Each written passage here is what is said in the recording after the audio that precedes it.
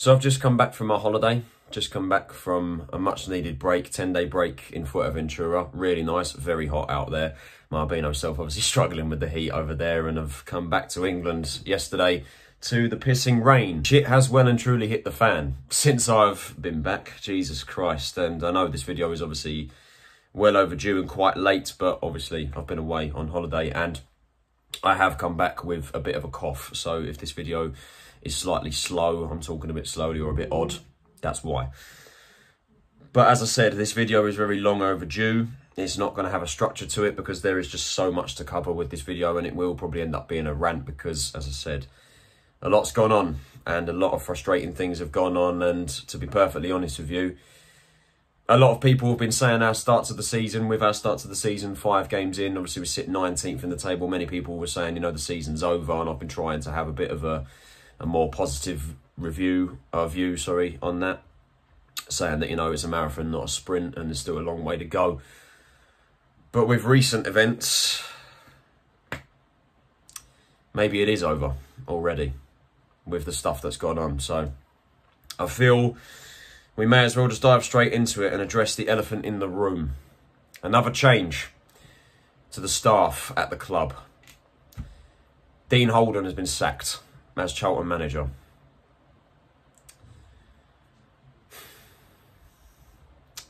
Here we go again. Here we go again. I'm sick to death of it. I'd, I'd, I'd, the amount of managers I've had to go through since doing this channel has been ridiculous. This is the fifth different manager we've had in, what is it now? I think still three years, three and a half years since Bowyer left. And so many more caretakers before then. Obviously, this is the first time me addressing my thoughts about Holden sacking. I think it came out early this week.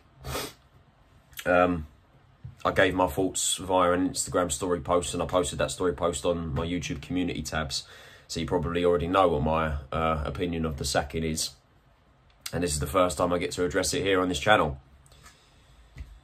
I'm not going to bother reading the club statement because it's pointless. And I'm just going to get straight into my thoughts. I think it's the same as Ben Garner's sacking. Premature and completely and utterly ridiculous. I don't know what we're doing.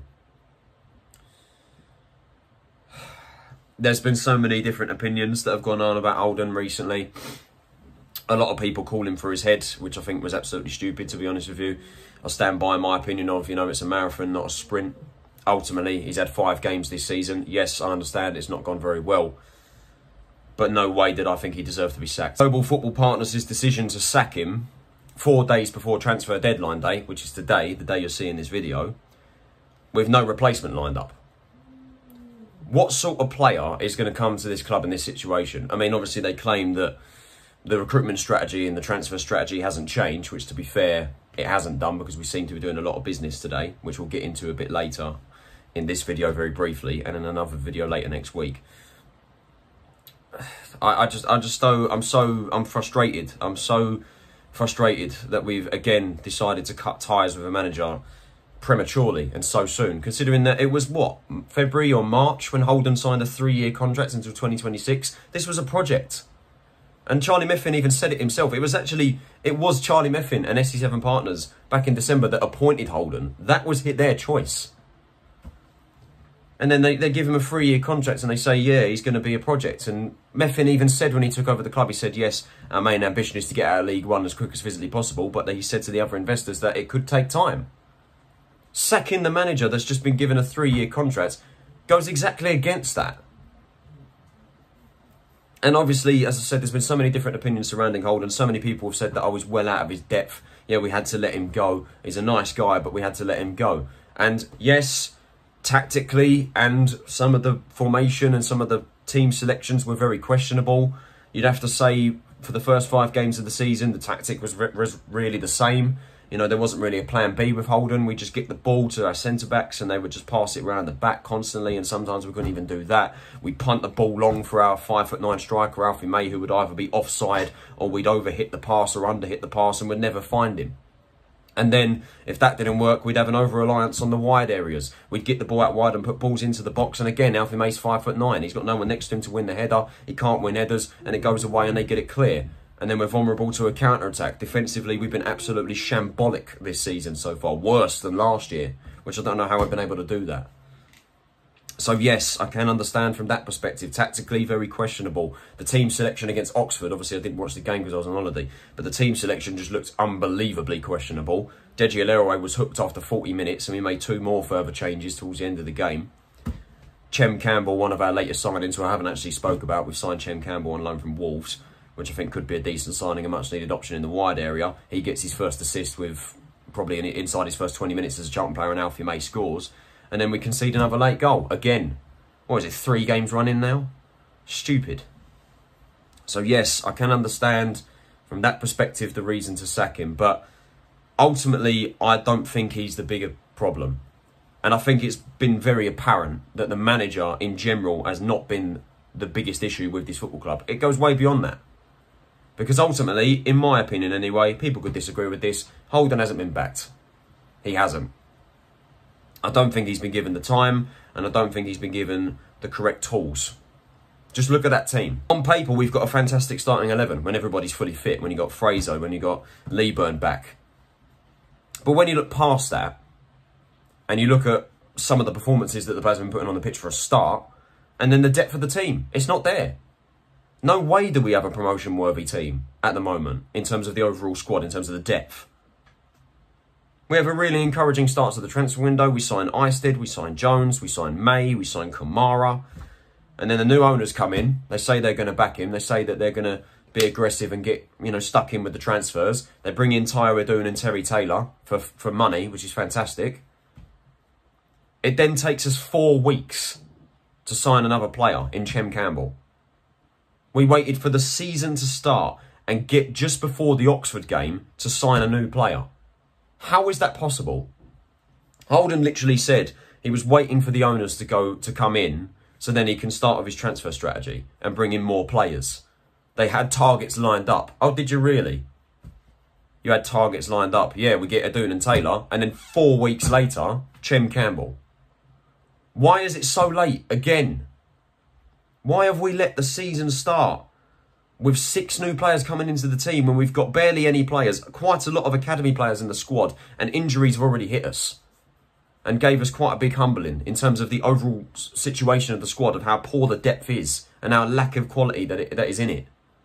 And now we've done the same mistake. We're doing the same mistake that we've done for countless seasons now. Wait until deadline day and just get anyone we can in, especially now without a manager. That's that's how I see it. Holden was not backed correctly once again by owners who, at the moment, are not showing much difference to Sandgaard. Some people have said, "Oh yeah, well they've been brutal. They've got rid of an underachieving manager." Like I said, I think the problem is well beyond that. I don't think he deserved to be sacked. I think he deserved more time, personally. There's the argument that he's been unlucky this season. There's the argument that injuries have hindered us, which is very true. Injuries have hit us there's the argument that we've been unlucky in certain games. I mean, looking at the five games we've played and including the cup game as well. Leyton Orient, we beat them 1-0. It's to date our only win of the season, which is absolutely unbelievable to say. And to be perfectly honest with you, looking at that performance, we probably have to say, in my opinion anyway, that we were lucky to win that game. I think Leyton Orient probably would have considered themselves unlucky to not come away with at least a point. Newport County in the Cup, we won't speak much about that because that was just a diabolical performance from start to finish. Peterborough didn't watch the game, but apparently we played really well and we was unlucky. They scored off a defensive mistake, Panutche Kamara's mistake, which he had come out and apologised for, which gives me every more reason to love the guy, falling in love with a lone player again. Bristol Rovers was next, wasn't it? I think. Yeah, it was. Bristol Rovers was next. Obviously got battered in the comments to the Bristol Rovers fans. If I'm being honest with you, looking back on that video, probably would have to say a draw was a fair result over, uh, over over the whole course of the match. Just once again conceding an, conceding another late goal. Port Vale, again, got battered in the comments by Port Vale fans. Still stand by that that was a game we should have been winning based off Port Vale's performance, but ultimately, defensively, we were just absolutely shambolic and they sucker punched us and they come away with a win and exposed our true nature of how bad our defence is and how terrible our attack is and that we can't take chances. Ultimately, though, looking back, I think again that's another game that we should be coming away with at least a point. And then as for Oxford, again, don't know how we played, but once again, conceding another late goal from a defensive mistake. That's just the story of our season, really. We cannot take our chances attackingly and defensively. We're absolutely terrible. So there is the argument there that you do have to look at what Holden is doing on the training ground. For our defence to constantly be making those mistakes. For our attack constantly to have no ideas and have the same idea going forward and not taking chances.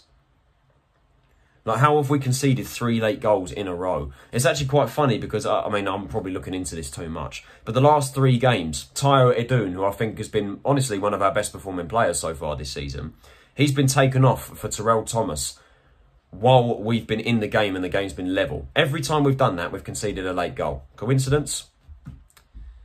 I, I, maybe I'm reading too much into that, but I don't. That's, that's another thing. Like, why is Edun coming off in the first place? Is it down to lack of fitness? I don't know. We bring on Terrell Thomas, I don't know, for a bit more of defensive assurance, I suppose. Yeah, that's great, yeah, bringing on Terrell Thomas, who we've got as cover for left back this season. Again, cannot wait to see that. Look, there's a whole lot of different points of view surrounding this, but I stick by what I believe. I do not think Holden should have been sacked. I think he should have been more given more time. I think he should have been backed correctly, which I don't think he was. Same with really Ben Garner, and dare I even say the same as Johnny Jackson. We go into the season once again underprepared as we are, with injuries hitting this team, with how injury ravaged this squad is. I just don't get it.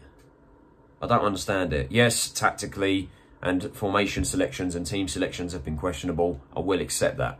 However, I've said it so many times. The manager is not the problem at this club. It's not the bigger picture. It goes way beyond that. It's the people above. Unfortunately, so far, global football partners have shown not much difference to Thomas Sandgaard and they need to get their act together. We need to hear from them, first and foremost. We need to actually hear from them. Because as far as I'm aware, Charlie Methven is the only person that's done the talking so far. I genuinely think the only person of the major investors that's actually come to a game outside of Methven is Hiroyuki Onu, the guy that runs that Singapore football investment thing. I, I, I don't know what it is. I don't know what it is because we ain't heard from him. We ain't heard from him. We ain't heard from Gabriel Brenner. We ain't heard from Joshua Friedman. We haven't heard from anyone else. Mark Boyan, is that another one? I don't know. I, I don't know. I don't know who they are. None of us do. We need to hear from them. We need to hear from them because unfortunately the fans are well against them again already against the new ownership. You know, the gates at the Valley for the next upcoming game tomorrow against Fleetwood. I can imagine that's going to be evidently lower than what it was against uh, Port Vale. Look, as I said, some people are quite happy that they've sacked an underachieving manager and they've shown a bit of ambition. But ultimately, when you sack a manager and you don't have one lined up and you're interviewing managers, you're in seemingly no rush to sign a new manager. Who in their right mind would come to the club in the current situation? We have to be one of the most unattractive football clubs in the country right now. And one of the most depressing. Which leads me on to our new manager search. I'll just be very bluntly honest with you right now. I don't care who comes in now. I really don't. I don't care. I don't care. Because we've had so many. And I just have to laugh at it now as to how many we've had. And obviously, there's a lot to laugh at with our managerial search right now. I've seen loads of names flying about the place. Obviously, there's been the standard Charlton fans calling for Lee Bowyer to come back, calling for Chris Powell to come back, calling for Alan Curbishley to come back. What is our fans' obsession with Alan Curbishley coming back as manager? Seriously, the guy has not managed a football club since the early 2000s. He's been out of management for maybe nearly two decades now. If he's if he's to hold any sort of role in the football club, it should be director of football or technical director or somewhere on the board at the club, which people have been crying out for for the longest time, to be honest with you. And I would love nothing more. Lee Bowyer, there's been a lot of rumours surrounding him, people wanting him back. I find it hilarious because the people that are calling for Lee Bowyer are the most vocal calling for Lee Bowyer. I can guarantee are the same people that were calling for him to be sacked back in 2021. Do I want him back? To be honest with you, I don't. I think because he had his time at this club, he took us as far as he could. And the back end of his stint at the club, unfortunately, was very poor. Obviously, gave us some fantastic moments, and I do think probably he is the best Charlton manager since Chris Powell and we have to accept that. And I will never forget the memories he gave us, the good ones he gave us. But I don't think I'd want even Bowyer back at this current situation, and I don't think he wants to come back either. Richard Cawley has said that we've not made a formal approach yet. There's been loads of people suggesting that he is interested in a return. I don't see why he would want to return in the club's current situation. And the same goes for Chris Powell, who we have flat out insulted with the offer that we offered him. We gave him an interim role for this weekend. The bloke has been coaching at Tottenham and England. Like, how insulting is that? So fair play to Chris Powell for turning that down, because Jesus Christ. How, how uh, interim role for this weekend? That is just, I, I, I, I can't even wrap my head around that. But again, I don't see why Chris Powell would come back in the club's situation because he's been under a situation like this in the past with Roland Duchâtelet. But there is a few other people that we've been interviewing. Michael Appleton has been one of them, obviously the former Blackpool, Lincoln and Oxford manager. A lot of people I've seen been really against that, to be honest with you. From the names that have been mentioned, I actually wouldn't mind Michael Appleton. Did well with an Oxford side, a young Oxford side that got promoted from League Two not long ago. He did well with a Lincoln team. I believe he was in charge when they got the playoffs uh, back in 2021. I may have that wrong. Someone correct me in the comments. I think it was him. Obviously, his time at Blackpool wasn't very good in the Championship, and that's probably why most people are not keen on having him back. But personally, out of all the other names I think I've seen flying about, I would love to see Appleton back over the other names, which consist of the likes of Danny Cowley, who I don't want anywhere near this club, to be honest with you. He's had his time at Portsmouth. He took him as far as he could. And I think, to be honest with you, he's a manager that's out of his depth and a manager that is not going to be able to progress a club forward, especially us in the current situation we find us in. So yeah, don't want Danny Cowley whatsoever. John Brady has been linked with the job as well from Northampton Town.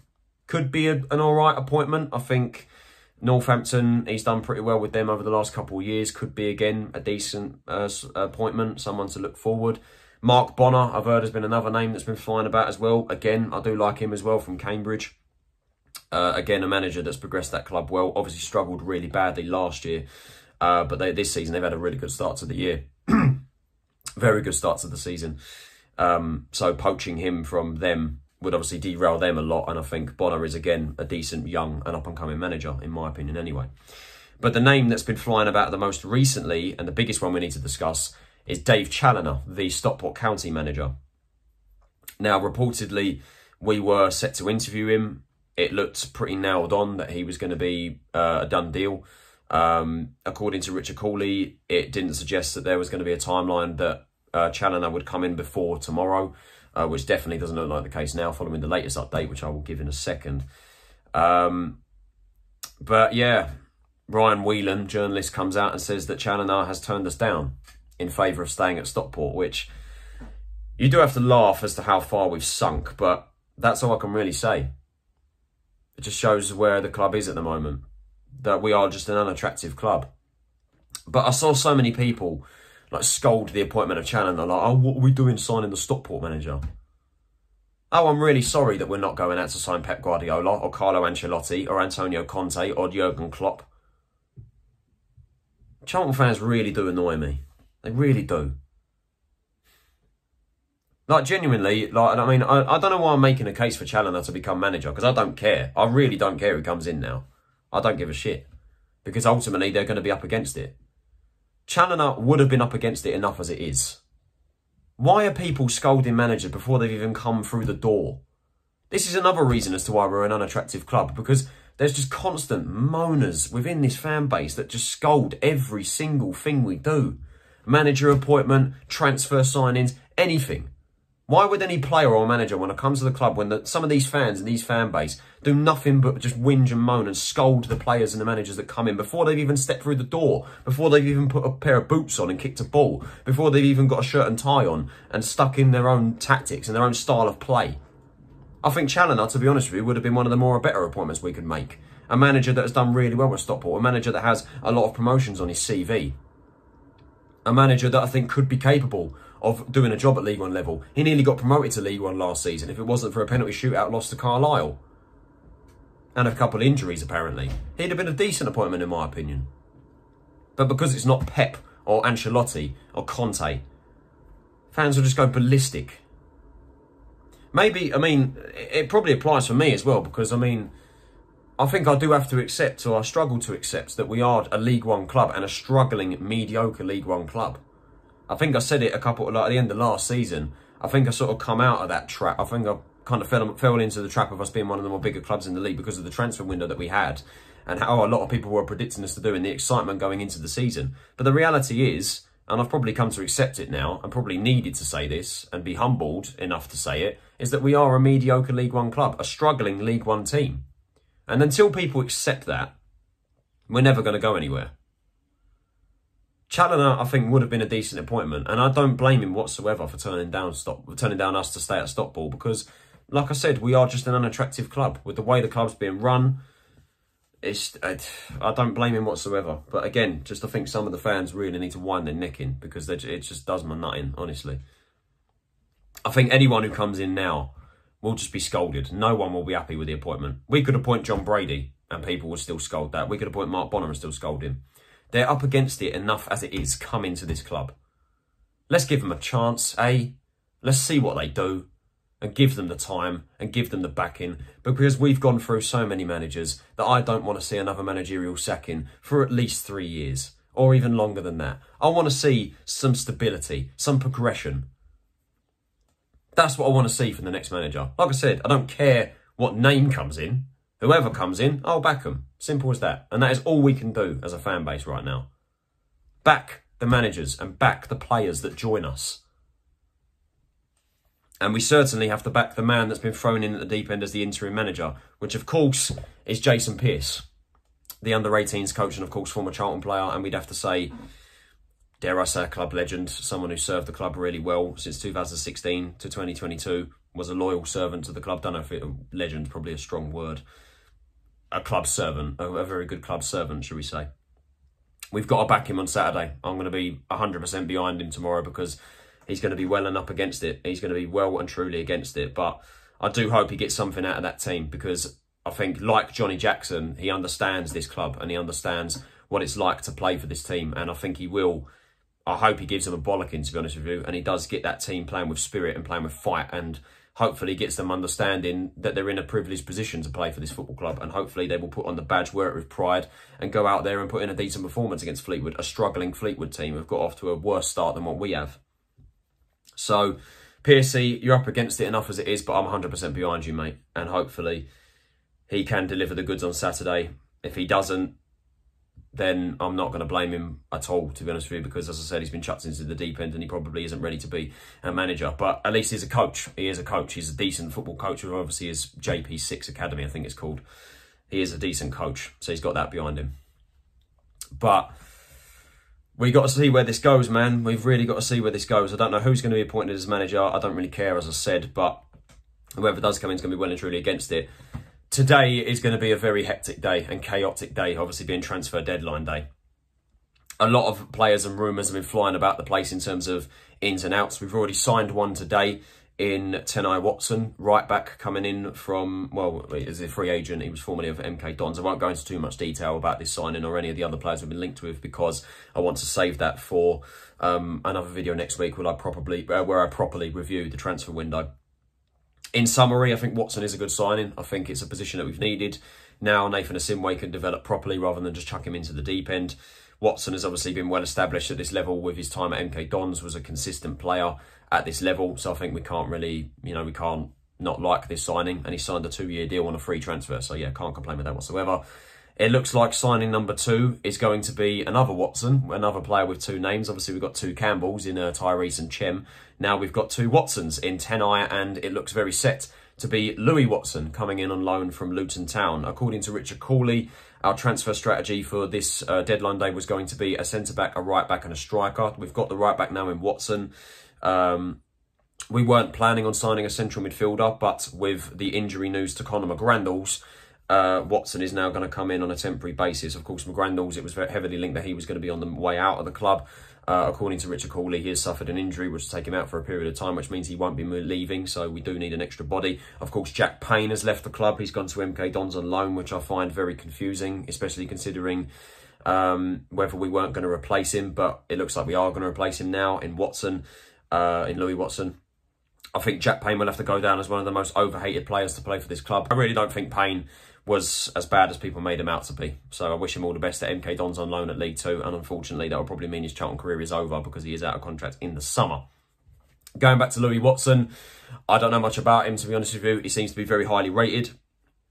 Formerly of the West Ham Academy, so he's a South Londoner. He used to play for Derby County before Luton signed him last year.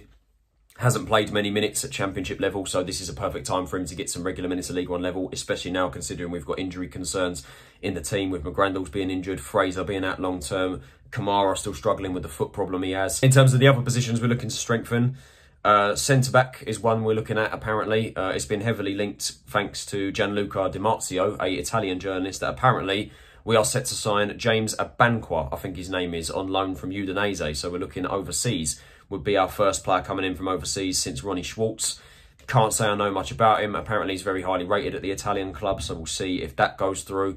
Uh, and that could be the centre back. And then the striker department, we've been linked with a number of strikers. Slobodan Tedic was one I saw on loan from Manchester City, spent last season on loan at Barnsley.